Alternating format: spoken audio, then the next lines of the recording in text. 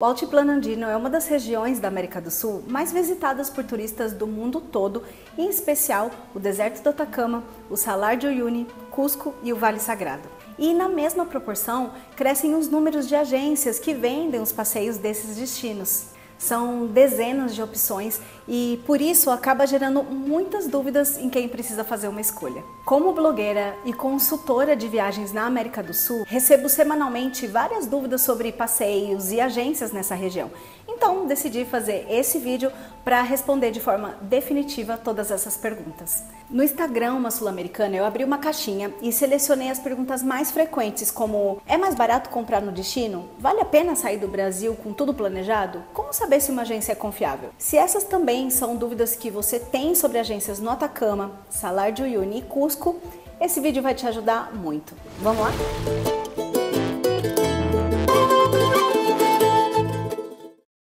Fala viajante, eu sou a Aline do blog Uma Sul-Americana e estou viajando na América Latina desde 2014. Só nessa região do Altiplano Andino eu já estive quatro vezes, então eu tenho algumas informações para compartilhar que podem ajudar aventureiras de primeira viagem por essa região.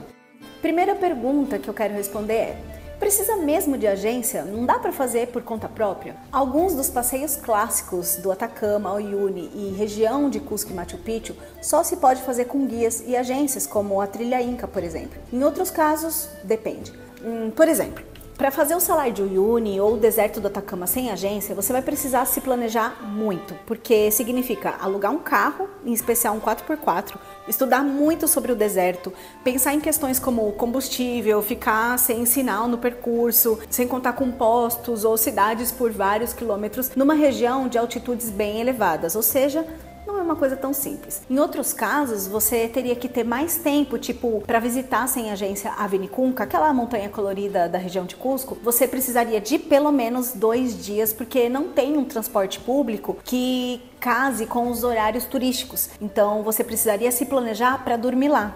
Pensando na relação tempo, facilidade e custo, eu sugiro a agência. Se você está fazendo um mochilão ou tá viajando um ano sabático, né, sem data para voltar, daí você pode considerar fazer algumas coisas por conta própria.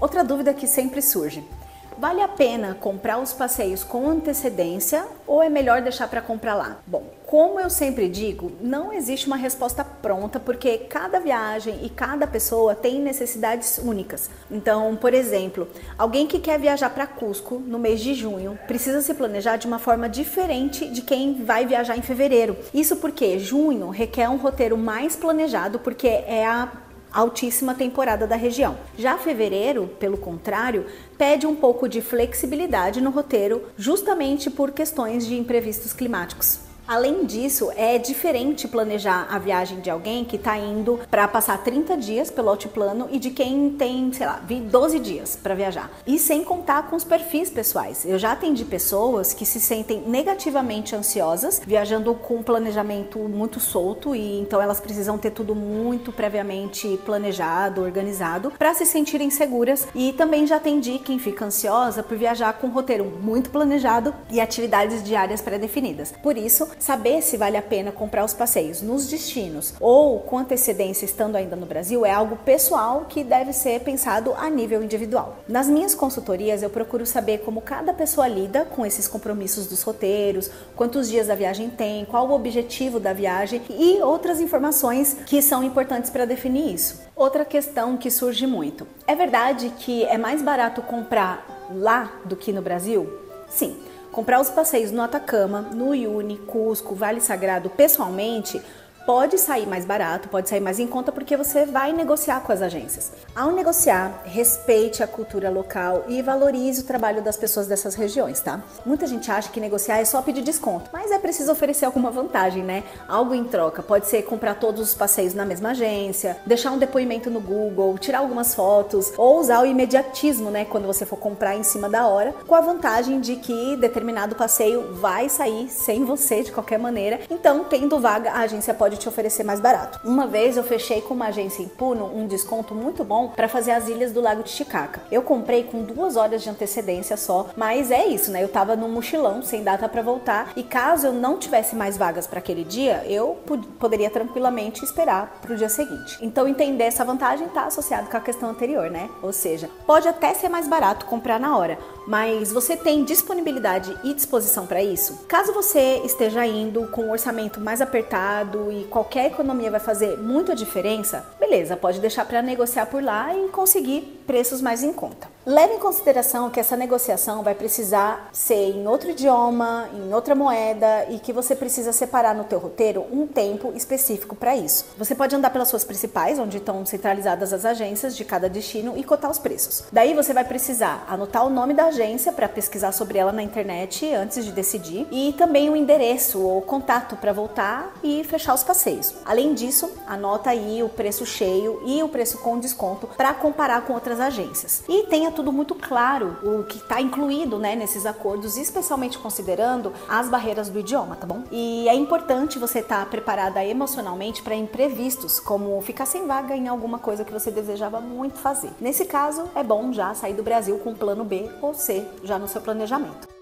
Uma dúvida: como escolher uma agência? Essa é uma das principais dúvidas de quem está indo viajar pela região do Atacama, Salar de Uyuni e Cusco, justamente porque existem muitas opções de agências, são dezenas, tanto online quanto agências físicas. Então, nesse mar de opções, a gente precisa entender principalmente a confiabilidade da agência, a qualidade dos serviços e a relação custo-benefício. Antes, eu vou te contar mais ou menos como funciona o serviço de turismo. Bom, tem uma operadora local que arma uns pacotes pacotes e ela é responsável por realizar o passeio já no destino. Então, guias e motoristas, por exemplo, são parte disso. A agência de viagem é a que faz ponte entre essa operadora local e as viajantes. É a parte responsável por vender e se responsabilizar pelos acordos com você como viajante. Muitas agências vendem os pacotes de passeios das mesmas operadoras, então é comum que no mesmo passeio estejam duas pessoas que vão receber o mesmo serviço, mas que pagaram preços diferentes. E isso não necessariamente é uma enganação. Cada agência possui sistemas diferentes e com custos diferentes. Então escolher uma agência só pelo preço pode acabar te colocando numa situação de atendimento menos confiável, com problemas em relação a datas ou que trabalham com operadoras menos preparadas. Na minha opinião, como viajante desde 2014 e trabalhadora do setor de turismo desde 2011, uma agência boa mesmo é aquela que tem transparência no que está te oferecendo e que te explique claramente o que você está comprando e também as políticas de alteração e cancelamento. Aquela que tem atendimento personalizado, que não te enxerga como uma comissão, mas como uma cliente que está investindo numa experiência. Também trabalha com operadoras locais, preocupada em apoiar o turismo comunitário comunitário que mantém os ganhos do mercado na cidade e entre os locais. Entrega mais do que promete, como dicas exclusivas e um pós-atendimento de qualidade. Me perguntaram, sempre me perguntam se eu tenho alguma agência para indicar. Olha, ao longo dessas visitas pela região do Altiplano Andino, eu já conheci diversas agências, tanto em atendimento local quanto online. E uma das minhas principais sugestões é a Fui Gostei Trips, que é uma agência brasileira. Então o atendimento é em português e o pagamento é em real e com possibilidade de parcelamento, o que facilita facilita muito a nossa vida, né? Ela trabalha com as melhores operadoras locais justamente para garantir um serviço à altura dos destinos, né? Porque ter guias que conhecem profundamente a história, a geografia, a filosofia e até sociologia local faz uma diferença imensa para quem curte viajar com imersão. O massa da Fui Gostei Trips é que ela foi fundada por uma mulher viajante que junto com o sócio fundador Renato chegou no Atacama viajando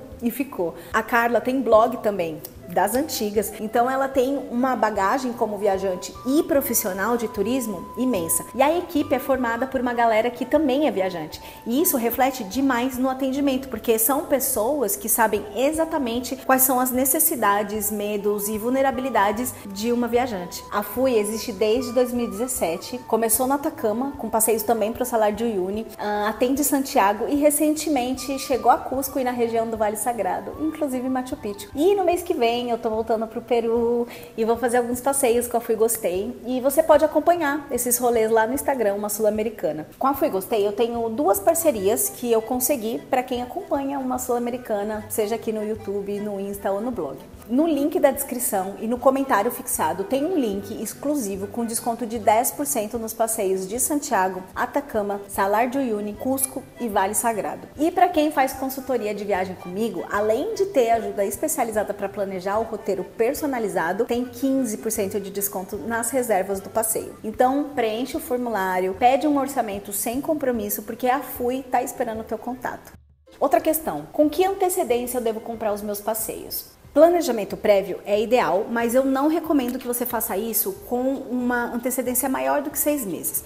Você pode ir estudando sobre os destinos, cultura, história local, além de melhorar o teu espanhol. Inclusive aqui no canal tem um vídeo completo com dicas para você aprender espanhol sozinha. Esse estudo vai te ajudar a entender o que precisa ser feito com antecedência ou não. Por exemplo, se você quiser chegar em Machu Picchu pela trilha Inca, é importante se planejar com antecedência, porque apenas 100 pessoas podem acessar a trilha diariamente. Se você quiser subir ao Huayna Picchu, também, porque só 200 pessoas podem subir diariamente. Outra coisa é poder viajar com alguns itens já pagos, como passeios e passagens. Na Fui Gostei, por exemplo, comprando com antecedência, você pode aproveitar a possibilidade de parcelamento e isso vai te ajudar a planejar o orçamento financeiro que você precisa levar para Santiago, Atacama, o Salar de Uyuni e a região de Cusco. Essas eram as principais dúvidas sobre a relação entre passeios e agências mas se você tiver alguma pergunta além dessas, deixa aqui nos comentários.